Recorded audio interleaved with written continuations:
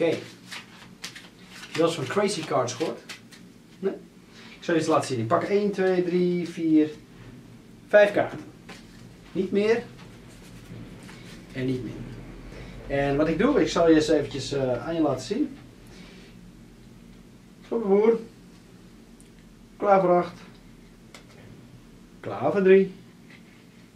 Harten 6. En de ruiten. Aas. Neem er eentje in gedachten. Heb je er? Mooi. We gaan eens even kijken. Of we met deze crazy cards crazy trick kunnen doen. Verwijder één kaart. En als het goed is, welke kaart heb je gekozen? is verrassing hè? Nou, ik bedoel eigenlijk dat het echt een verrassing is.